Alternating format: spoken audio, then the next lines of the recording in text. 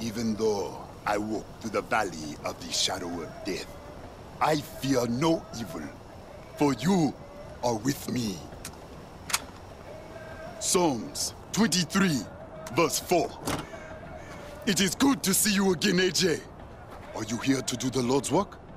I guess so. I have a confession to make, Ajay. I fear evil. Not the evil of other men, for that can be dealt with easily. No, it is the evil within myself that I fear. Do you remember my sins? The terrible business that I spoke of?